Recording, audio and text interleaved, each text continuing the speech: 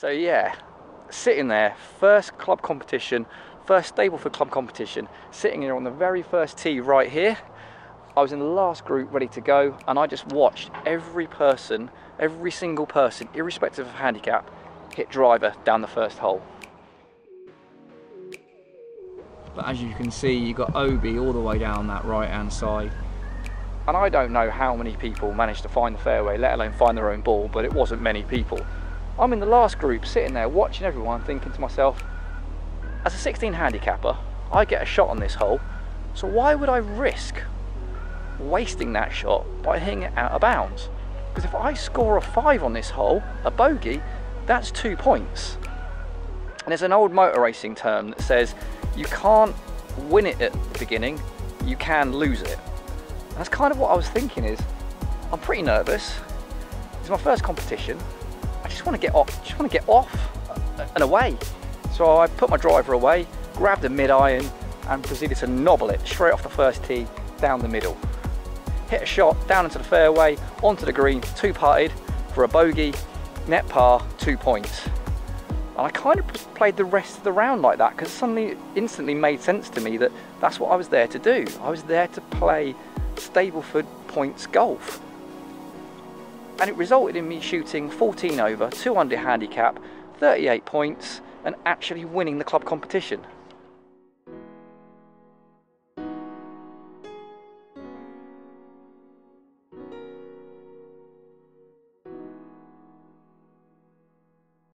So this is what the first hole looks like. So you got OB all the way down this right hand side and you've got to get down past this tree here so you can have a look at the green and there's a little stream that you've got to get over to get onto the green. So everyone's trying to drive down past here somewhere to try and see the green and get there in two. Uh, which is why everyone kept slapping it into this poor farmer's field. So instead, I thinned one to about here.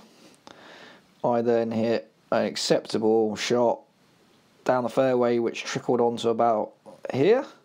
I then played a shot across and onto the green.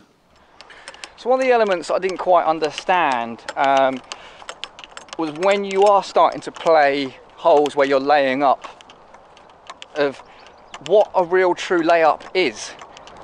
So this is the shot I'm 100% trying to avoid. I'm just short of the green. I've got to get it up over a bunker, up in the air and stop it. So that's going to require a lot of loft and a lot of commitment because without the, the loft I've got in my hand, I'm going to need to generate speed through the ball.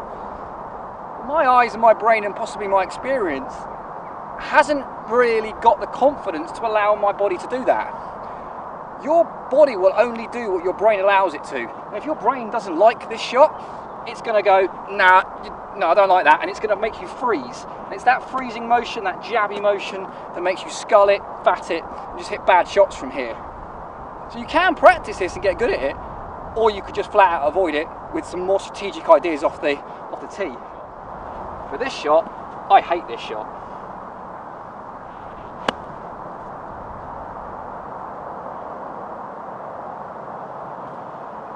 So I've played that pretty well, but I'm at the back of the green. I was the one in control of where these layouts were coming from. So it was far quicker and easier just to avoid it, not actually leave yourself that yardage in the first place. So that's what I refer to as no man's land. I'm trying to avoid that, that no man's land, that kind of 50, 60, 70 yards from the green, because I'm trying to keep it to around 100 yards, because that's basically a full shot-ish, and I'll come to full shots in a minute, with my lowest lofted club.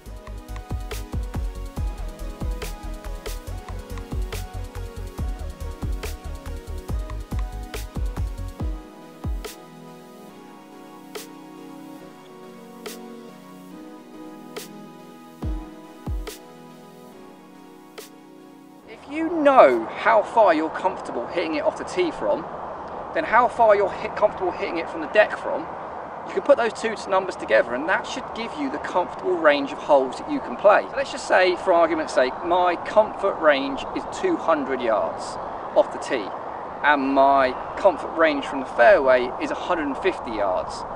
That means at 346, that falls perfectly into my comfort range. Okay, so I'm now going to try and hit my shot here around that 200 yard mark. okay?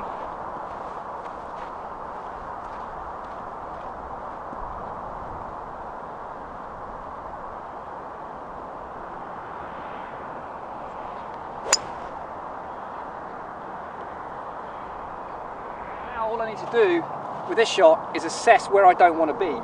So I've got a bunker to the far on the right and I've got a bit more room out to the left. Ignore the flag. My job isn't to try and get it close to the flag, my job is to get it on the green from this yardage. So I'm managing my expectations. Now I know what I don't want to do, I change my, my thought process to what I do want to do, get a positive image. Seeing that shot with those practice wings and then set up and commit to it.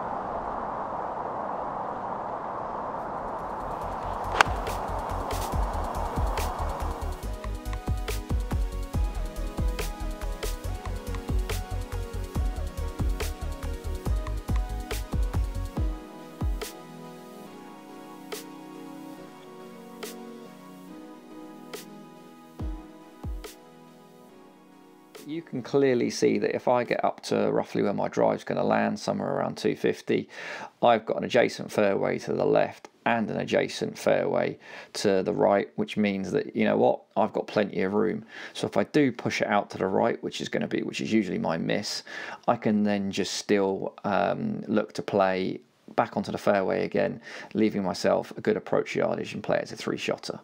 So that's how I know I can hit driver on this hole because I can see there is plenty of room to get away with it.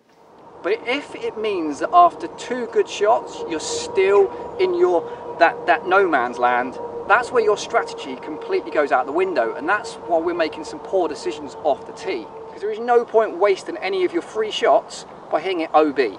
That's the point I'm trying to make. I'm not going to try and smash it because the harder I try and hit it, actually the worse the result's going to get. And we all know this. This is why we have tee prob. This is why people suffer with tee phobia. They get on the tee and they want to smash it. Start thinking of accuracy, not distance. What's weird is the distance will come. So, let's see how we get on.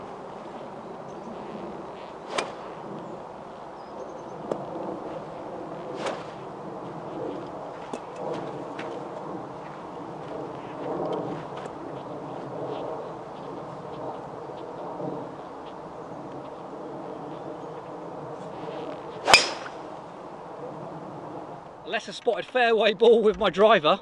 So this has given me a good shot now. I can actually not only get greenside, I can almost, I can probably get onto the green from here. So therefore my attacking play with the added information that I had space and room out to the right has now played dividends because I'm now in a position to attack the green from it. So with these shots as well, I'm managing my expectations a bit. I'm seeing where the miss is because you know what, from this range, I am not that accurate. If I can get this green side or on the green, then I'm going to be really chuffed. So because of that, I'm seeing where I the shot where I, where I don't want it to go, and now I'm changing my focus to where I do want it to go. Make a few practice swings, seeing that shot. Try and feel it inside as well. Feel that shot. And when you get that feeling, give it a go.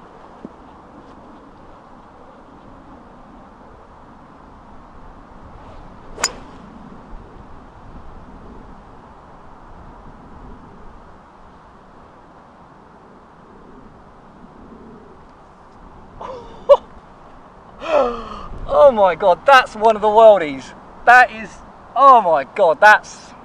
So this is one of the aspects I find actually, when I'm doing these videos in front of camera and I'm explaining what I'm doing, it's really making me say it out loud and it's making me get such a vivid mental picture of what I'm trying to produce because I'm explaining it to you. And because of that, my brain knows what I want to do, which therefore it will tell my body what I need it to do. it really is pretty much that's it. Just need to see it and believe it, have that experience, then you can draw from it. Right, so we're up to where my layup shot is. Let's see how we get on from here.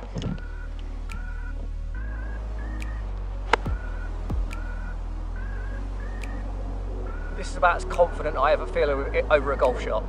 So I'm gonna be going somewhere at the flag with that. So it's about understanding what you can do, once again, as I keep saying, and then play into your ability levels. Okay, do what you can do and just do it really well. At that point, once you reach that ceiling, that's when you want to start trying to add in the next stage. Where else could I improve my game from? If that's something you're interested in working out how you can do that, I'm thinking of setting up a Patreon account offering a service like that. Is that something you guys might be interested in? Let me know down below. So my shot from just shy of 200 odd, okay, is finished at the back here. So I've got a pretty good shot at the hole. If I pan around, you can see where my shot from 100 landed. Average golfer, you're gonna be getting a shot on this hole. So just trying to keep it as simple as we can. But once again, I can't say this enough. Doing what you can do, just do it really well.